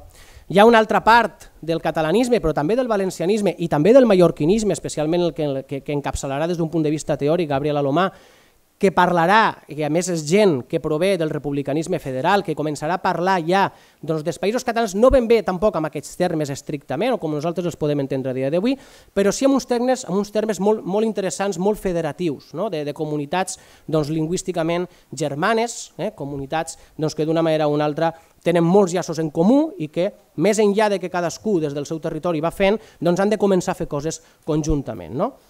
Això en certa manera s'acaba eh, s'acaba amb, amb, la, amb la guerra i no tornarà a aparèixer el discurs fins a la dècada dels anys 60 d'una manera molt ferma. I apareixerà de la mà d'un senyor anomenat Joan Fuster que l'any 62 escriurà Nosaltres els valencians i escriurà Qüestió de noms i que posarà, diguem-ne, jo crec que, que a tots els partits polítics i, i, i en part també a una massa important de, de, de la població, especialment de la valenciana, davant d'un mirall que és que, eh, o davant d'una pregunta, o davant d'un mirall que té una pregunta que és què som, no? què som? Uh, Fuster s'adreça principalment als valencians, però en el fons s'està adreçant absolutament a tota la comunitat dels països catalans. Fuster, en certa manera, podrien dir que dona lloc a l'aparició doncs, d'aquest independentisme o d'aquesta aquest, esquerra independentista que abans comentava en Beta, no? que té ja unes, uns 40 anys aproximadament. No? A l'aparició del Pesant l'any 69 eh, és, té una claríssima influència fusteriana i, i, de fet, Fuster segurament és el teòric i el pensador que més influirà en la seva idea de nació sobre eh, el Pesant i l'independentisme contemporani. Tothom debat sobre els països catalans en la dècada dels anys 60 i especialment en la transició. La transició és el moment segurament de màxim debat, es produeixen o es donen eh, doncs, publicacions tan interessants com la de Nous Horitzons de 1978, en què diverses persones de molts àmbits diferents reflexionaran sobre els països catalans. Però què és el que passa? Doncs passa el que passa, el que ja sabem que passa, no? que és que eh, això m'ha quedat molt Rajoy, no? passa el que passa, el que ja segur que passa. És a dir, no vol, que no, no vol dir res. Eh? Passa, sí, passa el que ja sabem que passa, no? que és que la transició acaba anant com acaba anant. I, i va com va, i en certa manera, sobretot l'any 78, amb, amb, amb l'aprovació de la Constitució espanyola i el debat que es té en el Senat i en el Congrés sobre la possibilitat de federació de comunitats autònomes, eh, no acaba tenint el, el resultat que tots voldríem i de fet es veu molt clarament com canvia la cosa des del 75 fins al 78. El 75, tota una sèrie d'intel·lectuals encapçalats per Fuster i per d'altra gent publiquen un, una proposta d'estatut, que és l'anomenat Estatut d'Elx, que acabarà sent anomenat l'Estatut del Sant, que és un estatut que inspirarà aquest estatut que comentava abans la Irene de l'any 77 en el cas de Mallorca, i que són estatuts que encara pensaven que o són propostes d'estatut que encara pensaven que en el marc de l'Espanya constitucional que s'estava construint els països catalans podrien ser possibles, eh? en el sentit de que eh, cadascú, convertint-se en comunitat autònoma, podrien després iniciar diguem-ne, eh, doncs, processos de federació, processos de polítiques comunes, etc etc. Això ja sabem que no va així. En els anys 80, en certa manera, el debat pràcticament sobre els països catalans acaba desapareixent. De fet, acaben apareixent teories com les del centre i la perifèria, encapçalades per Josep Guia, per el Sant i per un llibre que es, que, que es deia És molt senzill, digueu-li Catalunya, Uh, I en els anys 90 apareix aquesta teoria de, diguem-ne, la nació cultural però no política dels països catalans. No? Aquesta teoria bàsicament estarà encapçalada per Joan Francesc Mira des del País Valencià i uh, per Damià Pons des de Mallorca. No? Bueno, i arribem al punt on estem en l'actualitat. No? Estem en l'actualitat que una mica en certa manera doncs la Irene ja, ja ha comentat el, el, el, algunes coses, jo crec que l'Albert en certa manera també en comentarà algunes altres, no? i jo acabo amb això i acabo amb la pregunta, no? que en certa manera eh, no és per interpel·lar l'Albert, sinó que interpel·la diguem-ne a tothom i que jo crec que és la que ha de donar més marge per poder discutir i per poder-ne parlar, que és com encaixem en l'equació del procés eh? els països catalans, com s'han d'incloure. Fins ara no s'han inclòs, no ens enganyem. Per molt que la CUP diguem països catalans en el Parlament o en els nostres cartells, els països catalans no estan en el procés. I això no cal que, que, que, que ens fem trampes al solitari. És així, eh? els països catalans no estan en el procés. Val? Per tant, jo crec que aquesta és la pregunta que ens hem de fer. Com els hem d'incloure com aquests països catalans, com creem, com generem un discurs que acaben fent els països catalans atractius i, a més també, com una peça més eh, de tot això que aquí a Catalunya s'ha anomenat el procés. Jo ho deixo aquí, m'he comportat, eh? m'he comportat, i ja està, res més.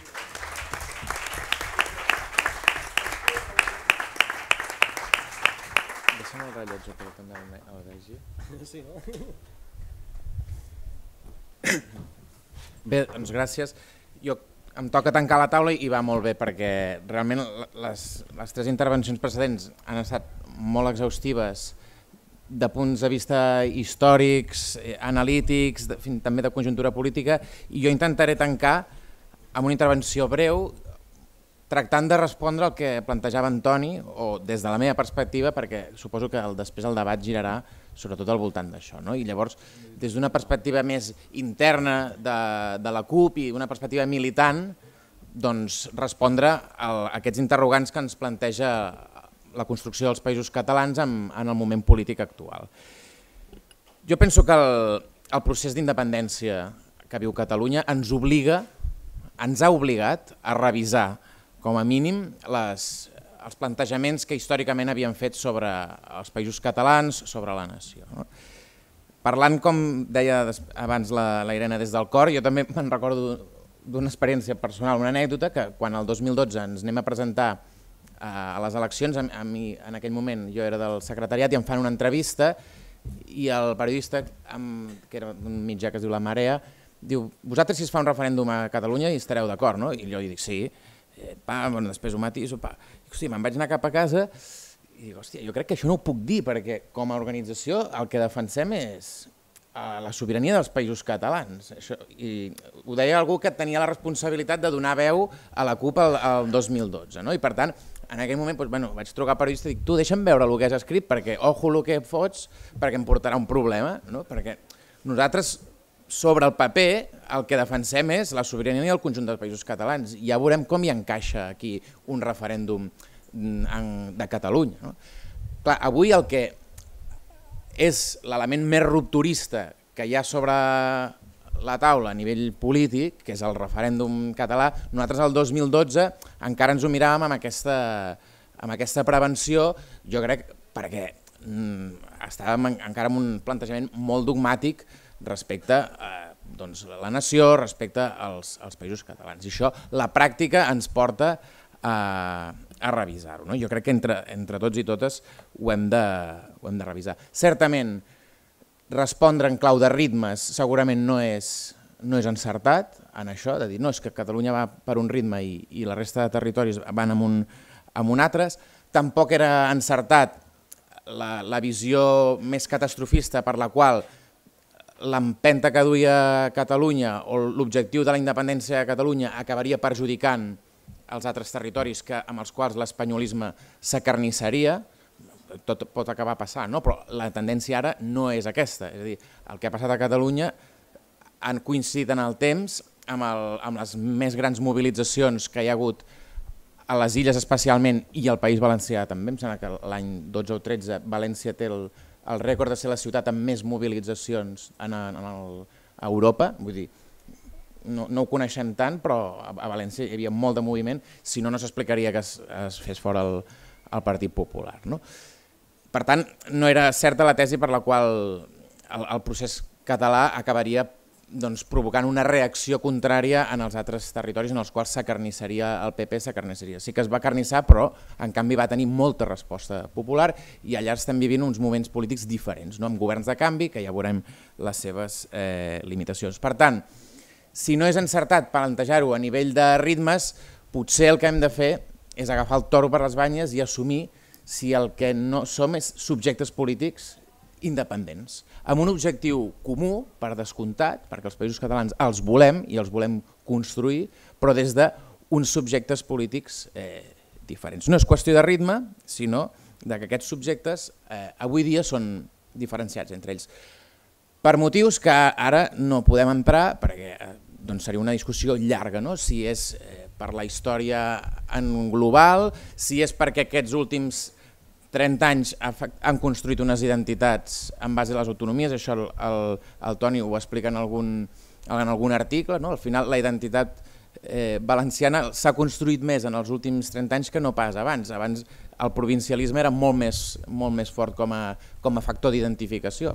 Ha sigut l'autonomia, la, ha sigut el Canal 9 i, i aquests instruments els que han construït una identitat valenciana. Però bueno, el fet és que aquesta és la realitat i la nostra pràctica militant també és, és aquesta. Per molt militants dels països catalans que siguem, i és veritat que som els que estem aguantant la bandera, després cadascuna de les organitzacions té una dedicació prioritària i fonamental en, aquest, en el seu territori de, doncs, eh, diguem-ne històric, o sigui, el País Valencià. L'esquerra independentista del País Valencià fonamentalment es dedica a la conjuntura política del País Valencià, com l'esquerra independentista catalana es volca en la conjuntura política eh, de Catalunya. No? La nostra pròpia pràctica militant té aquests territoris com l'àmbit d'actuació preferent i després els plantejaments de països catalans veurem com, com, com el realitzem. No? Per tant, jo penso que agafar el toro per les banyes voldria dir assumir aquest plantejament de subjectes diferents i de construcció federal dels països catalans. No? Això és, ho, podem, ho podem debatre. No? Però evidentment, clar que volem els països catalans per comunitat d'interessos culturals, lingüístics, econòmics, per què? Doncs per què? Doncs perquè és el nostre país, és la nostra nació i perquè també, com plantejava eh, la Irene, té uns enemics eh, tan encabronats en què no existeixin que això et fa pensar que alguna virtualitat positiva deu tenir aquesta construcció dels, eh, dels països catalans. És veritat que si la transició va ser violenta en el conjunt de l'estat espanyol, més ho va ser encara al País Valencià. No? I és per algun motiu, i és perquè allà hi havia també en, en disputa doncs, si el País Valencià es volcava més amb unes relacions eh, doncs, federals o fraternals amb, amb Catalunya o si se'l podia aïllar. Doncs no és casualitat que el lloc on desfilen les, les tropes al 23F sigui València. Jo crec que els militars de València ja vivien amb aquesta, amb aquesta mentalitat de que allà estaven en un lloc estratègic per, per com es definiria aquest tram final de, de la transició, que és l'any 81, però ja abans la transició havia sigut molt violenta allà, no? i els atemptats a Sánchez, a Sánchez l'atemptat contra Fuster, que aconsegueix aplacar-lo bastant eh, moralment, no és el mateix el, el Fuster d'abans i de després de l'atemptat, això és, és, és així, del, el del 82, no? em sembla que el, també a la plaça de Bous és, és, és bèstia, no? és, és així, per tant té uns enemics poderosos i ens hem de preguntar eh, per què.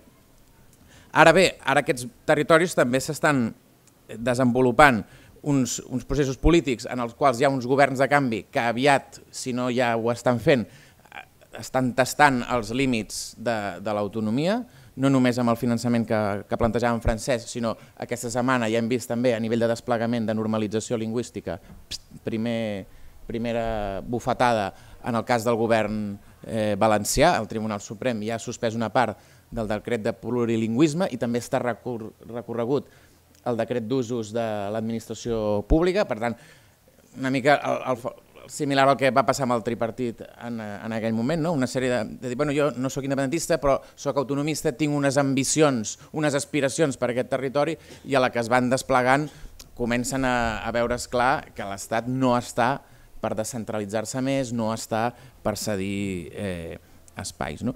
I també a nivell de societat civil, a nivell de mobilització popular, doncs, hi ha una sèrie de xup-xup que va ser més fort, és veritat, va ser més fort abans dels governs de canvi i potser els governs de canvi ho adormen, eh, no, potser no, segur, els governs de canvi ho acaben adormint, però que la nostra feina, entenc jo, és que aquest xup-xup vagi sent fort no? i que el que avui són moviments més, més o menys petits i localitzats acabi sent un moviment pel dret a decidir gran transversal com el que a, a Catalunya es va donar en el moment en què la situació política era molt similar, no? en el que s'estaven empenyent els límits de, de l'autonomia.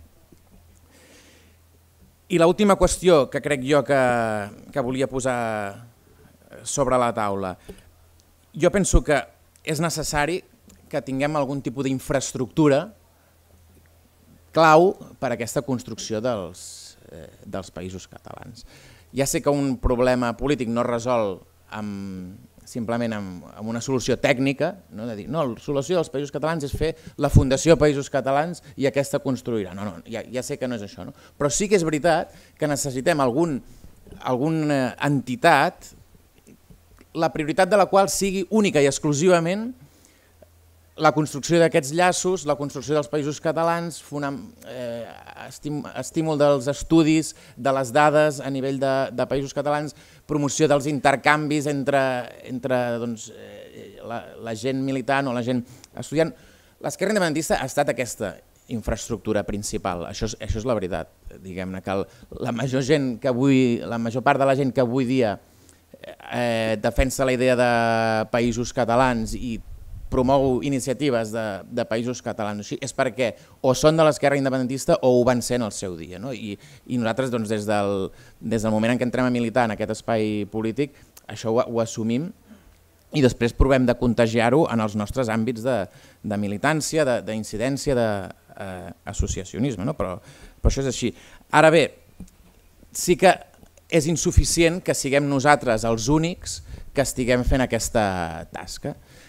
Com també és insuficient el grau de coordinació o el grau de dedicació a països catalans que té l'associacionisme cultural de cadascun dels, eh, dels territoris. Perquè, per exemple, les entitats referents en quant a defensa de la llengua i, i la cultura, Òmnium, l'obra i, i Acció.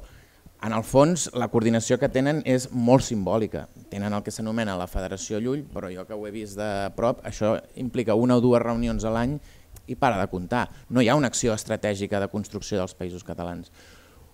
Un altre tema que jo m'he trobat des del, des del Parlament, la reciprocitat de les teles és una cosa bastant senzilla no? i que aquestes tres entitats defensen i encara més enllaçats per la llengua, ho defensa el, doncs la, la plataforma, etc. Però com que no hi ha ningú que n'estigui fent lobby i n'estigui fent bandera permanentment, aquest tema s'està endarrerint molt més de lo necessari. I a dia d'avui encara nosaltres, TV3 no es pot veure al País Valencià.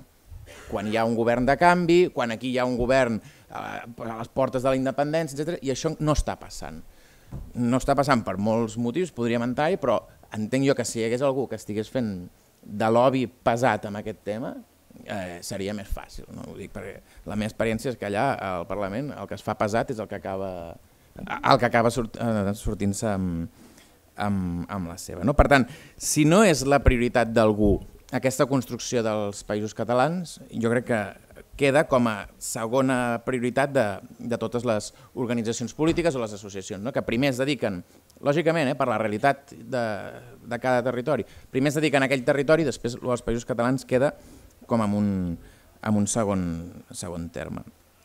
Per tant, acabant ja i resumint el que, el que crec que, que volia posar sobre la taula, jo crec que és necessari aquest plantejament federal, crec que és necessari que a Catalunya es dongui suport, i bueno, com, com estem fent implicats amb el moviment per assolir la República Catalana i que en el cas del procés constituent siguem molt amatents de que els països catalans hi tinguin una, una porta oberta i que en el cas del, de les illes i del País Valencià, en menor mesura a la Franja i a la a Catalunya Nord, aquests moviments incipients pel dret a decidir també comptin amb el nostre estímul, amb el nostre estímul, amb la nostra incidència. Per tant, plantejament federal, moviments populars per la independència o pel dret a decidir, i en tercer lloc aquesta infraestructura necessària que crec que, que hem de posar esforços en construir, no, no que sigui només nostra, no és la fundació de la CUP pels Països Catalans, hauria de ser una iniciativa transversal i, i oberta, però que hi hagués un, un espai que la, la, la seva prioritat fos aquesta, eh? la,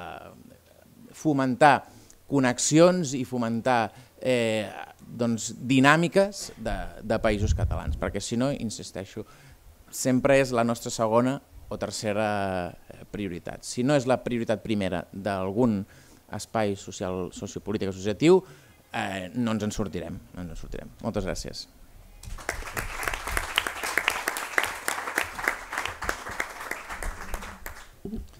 Bé, uh, no anem molt bé de temps, que diguem. Uh, tot i així sí que si, si voleu podem deixar una estoneta per fer uh, preguntes, si pot ser, més que intervencions molt llargues, uh, no sé, un quartet d'hora jo crec que el tindríem i després si, si en cas faríem una ronda final també molt breu de, de, de tancament per part dels, dels ponents i, i la ponent.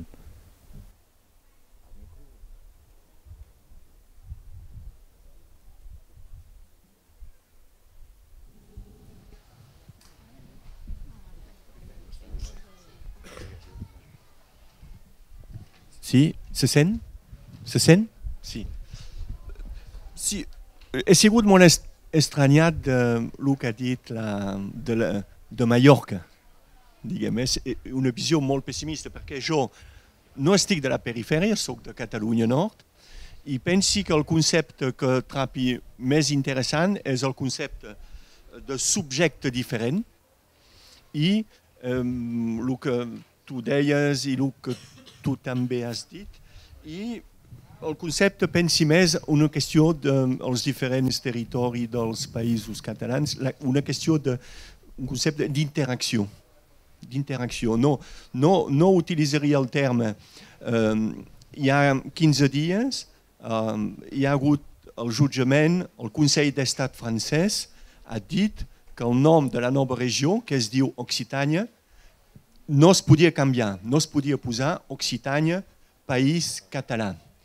I ell va sortir, un dels arguments que va sortir, on l'advocat del Consell d'Estat va dir actualment, amb el que passa a Catalunya, no podem acceptar que hi hagi un terme molt estrany, la contagió. Contagió vol dir que és tu que ets malalt i que me dones la malaltia. I jo crec que el concepte que estic d'introduir és més un concepte d'interacció. És a dir, tu és més endavant que jo, però jo sobre coses puc ser més endavant que tu i doncs té de ser una, aquest concepte d'interacció. I a Catalunya Nord eh, se parla poc dels països catalans actualment. S'ha també introduït un altre concepte que jo no m'agrada molt, s'ha introduït el concepte del transfronterer i que eh, no sé d'on ve, però transfronterer no, no vol dir res, perquè, clar, del cada costat de la frontera. És això que volia intervenir. I diu una cosa sobre les infraestructures.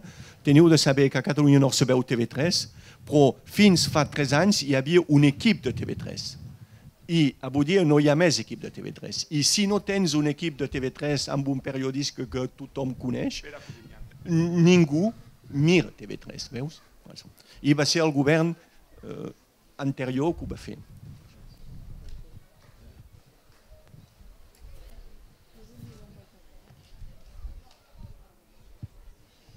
Bueno, mm, faré un par de preguntes, però abans vull fer una petita introducció Volia dir-te que en Solateria tu... Sí, sí, li diuen amb ella. Perquè nosaltres venim del 15M i en el 15M van treballar molt. Eh, són de poble, jo soc de... Sa... Bueno, en aquell moment vivia a Sant Pol. Eh, van lluitar molt quan el 15M va dir que s'anava als barris. Nosaltres veiem, eh, veiem el 15M com Barcelona província i no com Barcelona ciutat. Va ser molt de senador, eh, intentar anar a les assemblees a Barcelona i que te diguessin que com eres de poble allà no entraves i que si volies l'última paraula del dia. I després de lluitar molt, mm, i el, bueno, tothom sap la història del 15M, com es va desfer, al cap de temps ens van cridar als pobles a venir i llavors ja no teníem massa ganes de venir, que no fa falta ser de les illes per haver sentir-se d'això, per això jo crec que en un procés constituent una de les coses que tindrien que fer és que la capital de Catalunya fos rotatòria per evitar aquest sentiment de centralisme que a vegades tenim. Val? I vull dir al final de tot això que jo sóc de Barcelona ciutat del poble nou nativa. Val? Aunque he fet tota la meva vida adulta en el Maresme. Val? Volia dir-vos si a nivell de països catalans, perquè jo me'n recordo fa molts anys que vaig anar a Mallorca vaig estar a un hotel, vaig estar a molts llocs, tothom parlava castellà, però vaig estar en un estanco i em van parlar en, en català de les illes i em va fer molta il·lusió. Llavors me vaig sentir a la terra i vull dir que nosaltres tenim de manera natural, en sentiment, unes idees de lo que és el, el, el, el social, segur, segur, molt semblants. I que si, eh, com a països catalans, tindrien que tindre una línia de treball o de, o de, de marc dintre d'aquestes coses que segur que compartim. Val?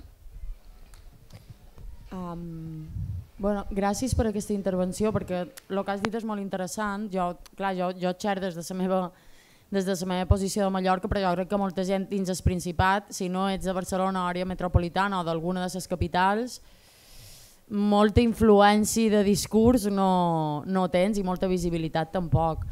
Imagineu-vos llavors tot el que queda fora del Principat. No? Ah, això que dius és molt interessant perquè jo una de les Sí, jo una de les idees que tinc de la construcció de països catalans, quan jo deia abans que els països catalans no se construiran en base a una llengua i una cultura, que també, perquè això ho tenim clar i això ho sap tothom, ja està, ja ho tenim assumit, ho pot... normalitzem-ho, o sigui, normalitzem això d'una vegada, normalitzem que tenim una llengua i una cultura comunes, perquè a vegades sembla que mos ho hagin d'anar repetint i jo crec que està bastant clar. Crec que els països catalans se vertebraran per les seves lluites i crec que ara tenim una oportunitat d'or. O sigui, ara amb el model turístic que, que ens han imposat tenim una oportunitat d'or per, per fer construcció de països catalans a través de, de les lluites. Per jo fer països catalans, és que ara a Mallorca fan, mos colen un desdoblament, o sigui, bueno, mos colen una autopista dient-li desdoblament, aquesta empresa que farà aquesta autopista segur que té una seu a Barcelona i no sé si a València, però a Pentura sí. Per jo fer països catalans és que el dia que se faci aquesta autopista, tothom, esti, tothom de Barcelona o del Principat estigui a la seu d'aquesta empresa a Barcelona i estigui tothom a la seu de València dient eh, què passa? perquè l'autopista l'estan fent a Mallorca. Però és com, és, és, és com la de la llengua en el final, per què en la llengua sí que ho feim i amb la resta no? O sigui, per què quan ataquen a la llengua un, un punt sí que uns, no, sortim a defensar-ho, però quan ens foten una autopista de sis carrils entre Llumajor i Campos, que són dos pobles costaners de Mallorca, ningú no diu res. No? Són aquestes coses que jo... Que jo són, quan vos deia abans lo dels nusos, són aquests nusos que crec que s'han afluixat. Perquè jo quan...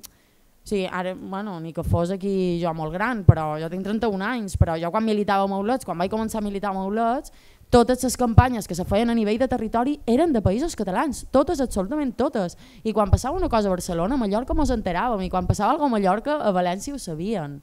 I crec que això els darrers anys s'ha perdut, s'ha diluït. S'ha diluït perquè i, i en part té lògica, té lo... jo entenc tot el procés, o sigui, jo ho comprenc, jo, jo mai no diré que la gent no ha d'anar a votar, jo això no ho faré, però crec que des de l'altra banda hi ha hagut molt poca empatia, hi ha hagut molt poca visió a l'hora d'intentar que tot això eh, se pogués cohesionar de qualque manera.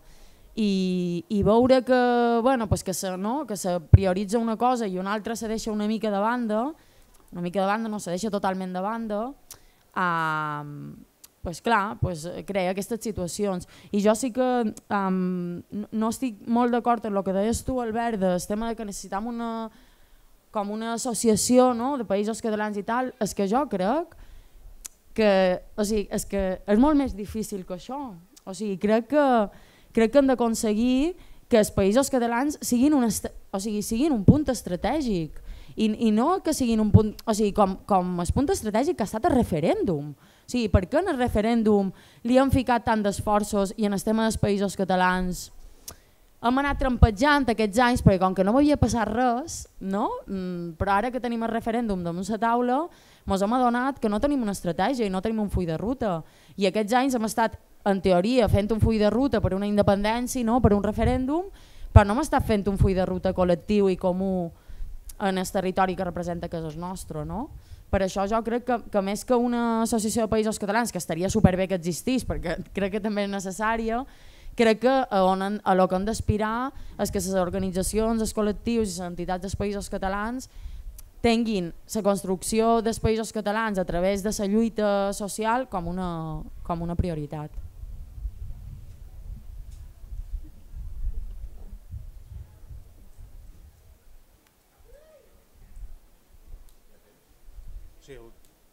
Serà, farem l'última intervenció, és que anem molt malament de temps, eh?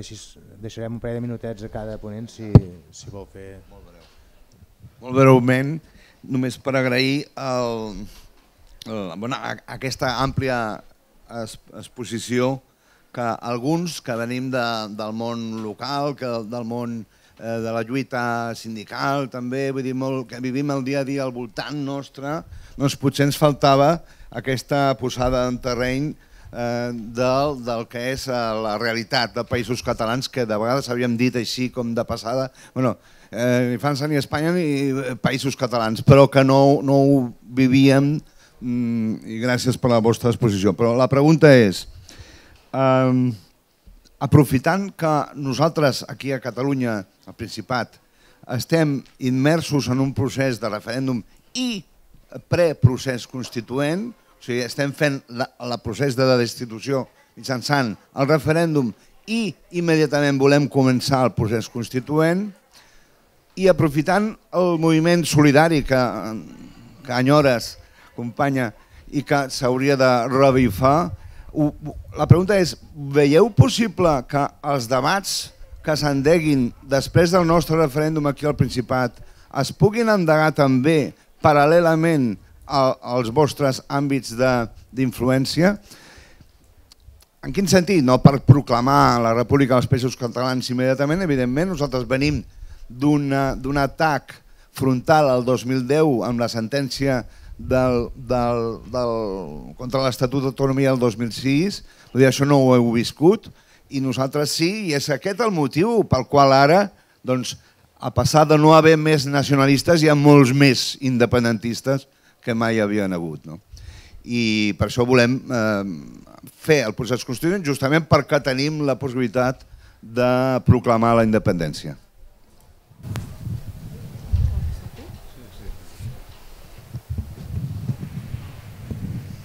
Uh, contest... Funciona, sí. Contestaré també molt breument, m'hauria agradat dir més coses. Jo crec que el que cal fer en aquests moments, si s'arriba, com esperem, a una situació d'independència, és crear un model de país. I aquest model de país que sigui exemplar, perquè aleshores estic segur, ara dono una qüestió de fe dogmàtica, no? estic segur que hi haurà un seguiment, una, una visualització des de, des de ses illes, no sé en el País Valencià, d'aquesta eh, possibilitat de superar els marcs mentals que ens han creat durant moltíssims anys. Però, però passa per, per una creació d'un estat modèlic Eh? Segona cosa, més enllà de la necessitat d'estructures o d'infraestructures que ajuntin per qüestions concretes, per actuacions polítiques però també eh, pragmàtiques eh, diferents, els diferents països catalans, el que cal, jo eh, també crec que és que a cada país, a cada illa en, en el cas nostre, hi hagi una dinàmica pròpia, perquè en la mesura que hi hagi que, que superi la indiferència que han viscut durant eh, anys i panys, hi haurà també una voluntat d'aproximació, perquè hi haurà consciència. Primer s'ha de, de eh, mobilitzar la societat, i mobilitzant la societat ja en sorgiran d'infraestructures. I una darrera cosa, l'espai comunicacional és definitiu, és importantíssim, cada espai comunicacional és un territori de poder. No és estrany, aleshores, que hi hagi una lluita aferrissada entre el mapa del temps dels, de, de TV3 i el mapa del temps de Telecinco o d'una altra cosa. Vull dir, no hem de perdre de vista les eh, actuacions possibles, concretes, que moltes d'elles eh, se deixen passar davant. Um, jo amb això sí que només vull apuntar una cosa, ara tornaré a sonar molt èpica, perdoneu-me, però, però és que ho veig així. Sí, crec que en tot això del referèndum també uh, mos hem obsessionat una mica amb el tema de les urnes. I crec que a vegades, o sigui, l'any 37 a Barcelona no varen ser les urnes, varen ser les cooperatives i la redistribució que se va fer. És a dir, que, que a vegades crec que perdem de vista també que aquí darrere hi ha d'haver, per jo, hi ha d'haver una lluita de classe hi ha d'haver una transformació social, és a dir, a jo un referèndum que me deixi un Principat de Catalunya com els que tenim actualment, a jo no m'interessa per res, eh? ja vos ho dic així, de clar, ara aquí davant tothom. Vull dir que, que a vegades també ens oblidam una mica de, per jo un dels objectius és la transformació social. Jo si no hi ha transformació social, tot el sentit que pugui tenir eh, aquesta independència per jo segurament no la tindrà per molta altra gent sí, eh? no vull dir que jo ara tingui la raó, jo no, vull dir, però, però sí que, que crec que també és important que no perdem de vista el tema de la transformació social i el tema d'aquestes lluites, perquè crec que a vegades se mos oblida i mos, mos quedam en el final en l'anècdota d'una urna i un sobre de dins i crec que, crec que hem d'anar una mica més enllà també. Irene, perdona. Perdona. Uh, aquesta aigua que estic veient no m'agrada gaire en voldria una altra. Però, si no em deixen ni tenir l'ampolla, no podré posar-hi una aigua diferent. Per tant, eh, el referèndum és molt important. Jo no n'he que l'oportunitat, no m'hem tirat pedres ara, però vull dir que pensem també que hi ha transformació social a darrere, sí, perquè sí. si no no serveix de res això. Serà un canvi de no. Si us sembla, si voleu intervenir Toni i Albert i quasi, quasi, bueno, si fem molt curt, poder, podem acabar d'intervenir una altra vegada. Això és culpa meva.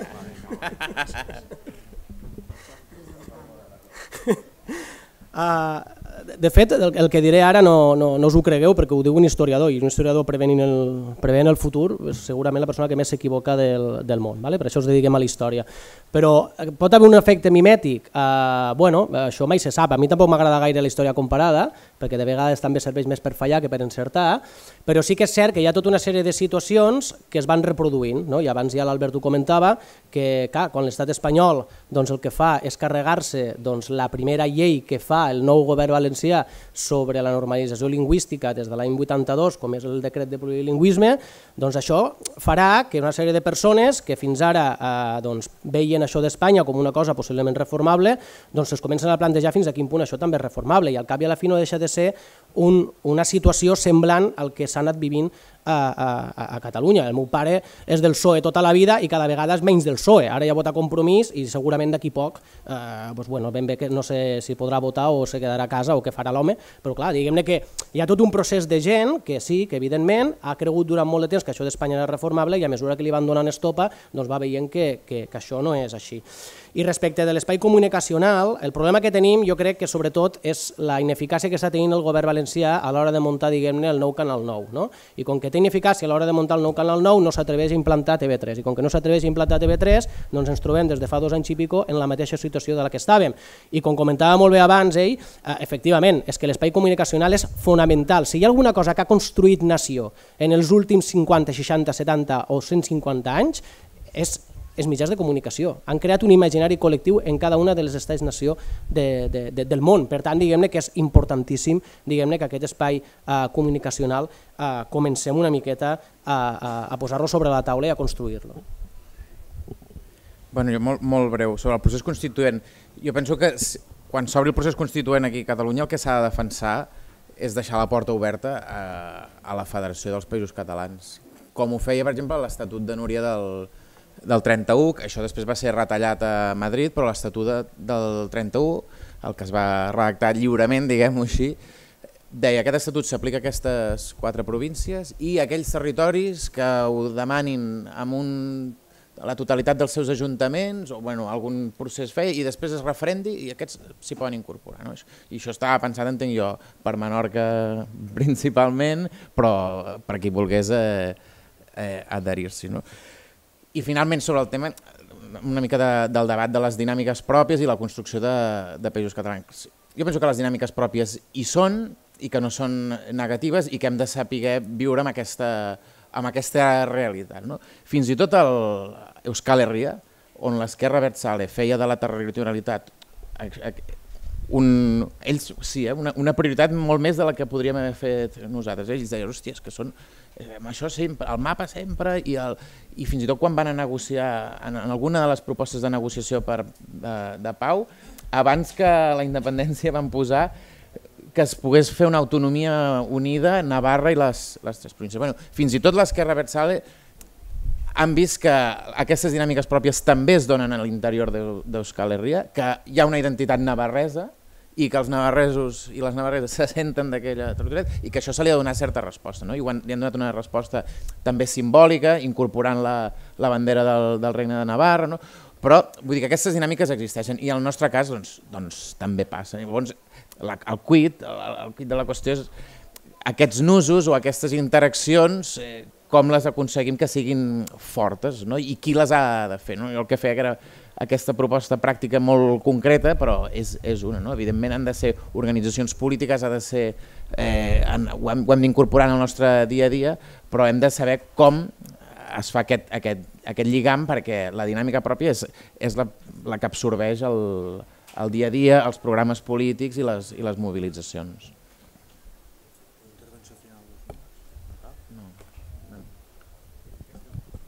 Bé, uh, ho hem de deixar aquí, anem, anem tard i farem anar tard els que venen la xerrada posterior. Moltes gràcies per haver vingut, moltes gràcies a en Joan, l'Irene, en Toni i l'Albert, i bé, seguirem construint països catalans. Vinga, salut.